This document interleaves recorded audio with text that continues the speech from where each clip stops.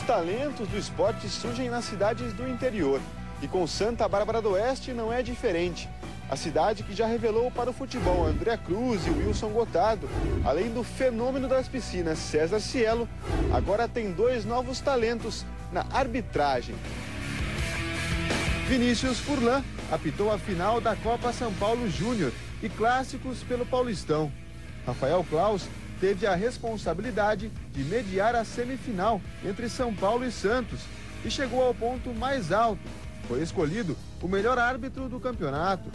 Os dois começaram a jogar futebol juntos e se conhecem desde pequeno. Desde os aproximadamente os 8, 9 anos de idade, a gente sempre se enfrentava nos campeonatos Fraldinha, Pré-Mirim.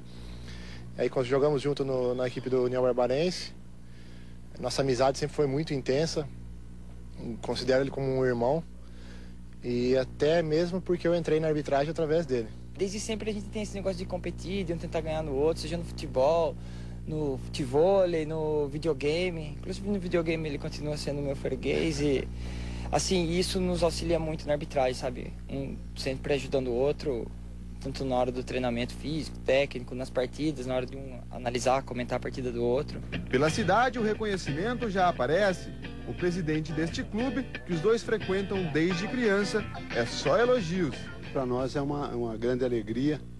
E se você tem em seu quadro pessoas como ambos, como os dois árbitros, é, é motivo de satisfação. Idôneos, pessoas de família, pessoas comportadas, meninos bons e que vão ter um futuro maior ainda. A população fantástica, cara, de Santa Bárbara do Oeste, onde nos encontram, assim, nos dão os parabéns, nos elogiam.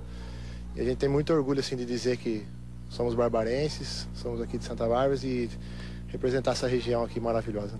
Mas tem aquela máxima que todo árbitro é um jogador fracassado. Será que eles são bons com a bola no pé?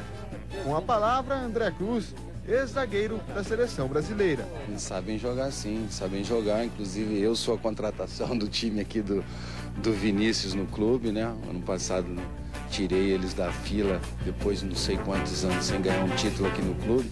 Então com a minha chegada nós voltamos a vencer.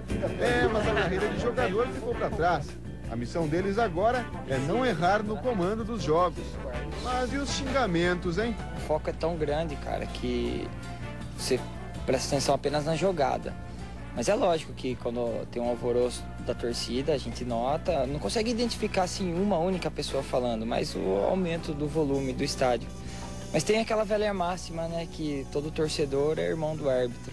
A vida do árbitro é dura, pressão por todos os lados e o rótulo de vilão adjetivo que eles lutam para desassociar da profissão. Acabada a partida, a gente volta para a família, volta para o nosso trabalho. Nós temos aí pessoas que a gente convive, então é uma rapaziada super do bem, é um pessoal, é, todo mundo tem o seu trabalho fora do, da arbitragem. E claro que a gente não podia esquecer da pessoa mais famosa, a mãe do juiz.